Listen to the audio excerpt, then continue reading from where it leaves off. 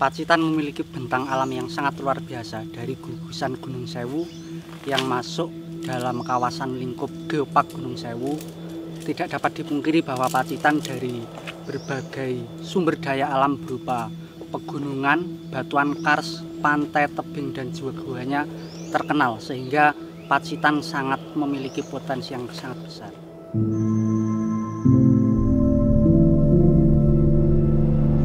Akan tetapi di Pacitan terdapat suatu problem di masyarakat bahwa setiap musim kemarau mereka sangat membutuhkan air bersih dan karena lingkup di Pacitan adalah wilayah kars yang memang terkenal tandus karena sejatinya di wilayah kars e, sungai bawah tanah atau sumber airnya berada di bawah permukaan.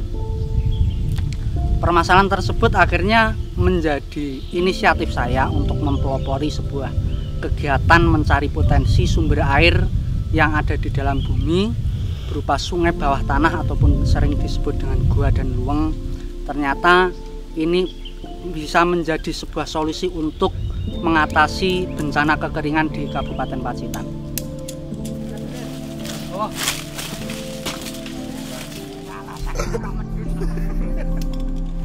Tersebar di tujuh kecamatan, tepatnya di Kabupaten Pacitan, adalah bentang kars yang memiliki potensi gua. Bahkan untuk pendataan awal sudah mencapai 1300 lebih gua yang sudah didata. Dan dari gua-gua tersebut salah satunya di tahun 2021 saya bersama anggota dari komunitas Pacitan Speleologi Society kami menggali sebuah gua di Dusun Jambu di Desa Ngadirjan kami mengangkat sumber air bekerja sama dengan program Hibah Pamsimas. Akhirnya pada tahun 2022 Gua Seropan berhasil diangkat ke permukaan dan airnya alhamdulillah untuk sampai saat ini berhasil mencukupi kebutuhan di Desa Ngadirjan. Selain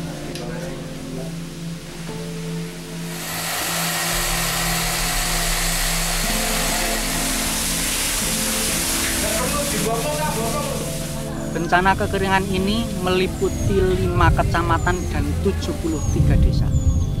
Harapannya dengan penggalian potensi di 7 kecamatan akan mengurangi dampak kekeringan tersebut. Kekeringan di Kabupaten Pacitan mulai terasa pada tahun akhir 2017 dan mulai berlanjut dengan keadaan iklim global yang tidak menentu.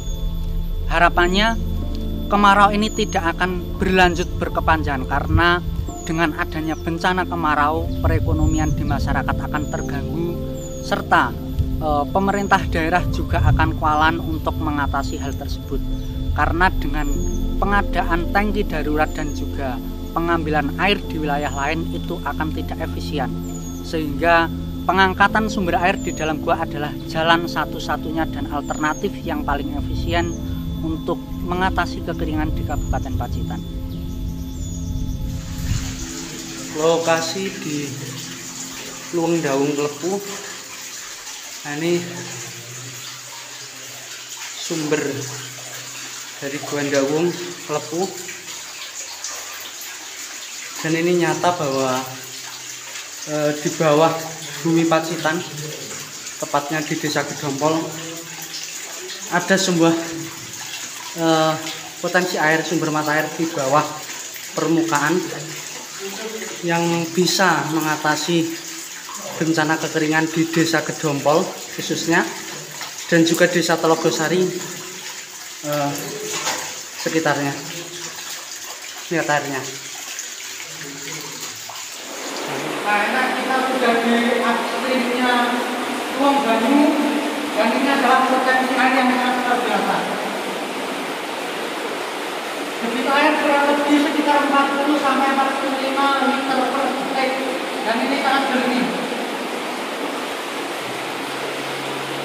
Pacitan luar biasa.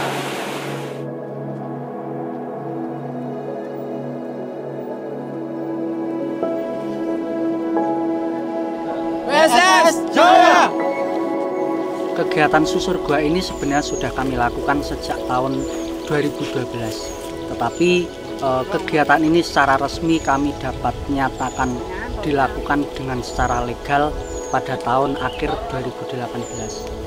Dan untuk pengangkatan sumber air di Gua Seropan sudah berjalan sekitar hampir empat tahun dan kemungkinan untuk potensi-potensi lainnya seperti di Luang Banyu, Luang Plente dan juga ada Luang Dondong Insya Allah untuk tahun ini akan diangkat menjadi sumber air di Kabupaten Pacitan juga.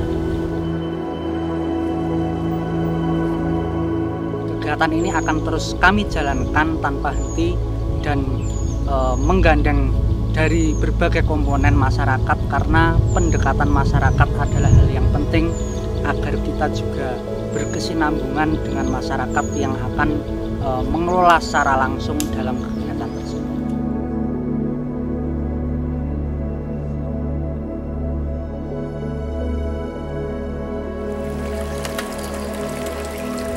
Kegiatan ini selain di masyarakat kita juga berkolaborasi khususnya dengan pemerintah desa dan juga dinas-dinas terkait. Karena e, perlu kita ketahui bahwa MOU kita harus buatkan agar kegiatan tersebut selaras dengan keinginan dan juga tujuan akhir dari seluruh masyarakat.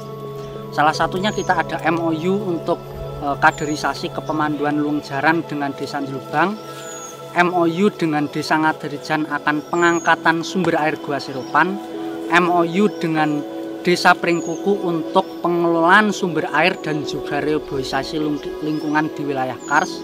Ada juga kita MOU dengan instansi swasta seperti Onsek, Jarum Foundation dan juga e, segenap organisasi lainnya.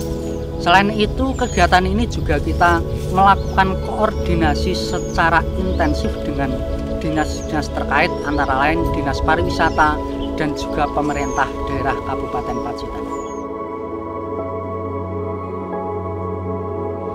Harapan saya untuk Pacitan ke depannya kita dapat menggali potensi gua khususnya di Kabupaten Pacitan agar menjadi uh, sumber daya alam yang dapat dimanfaatkan secara arif dan bijaksana uh, selain dapat mengurangi bencana kekeringan dan juga kebutuhan sumber air diharapkan peningkatan ekonomi masyarakat berupa pengadaan dan juga pembuatan ekowisata yang berbasis edukasi kita juga akan memanfaatkan sumber daya alam dan juga lingkungan dengan berkesinambungan.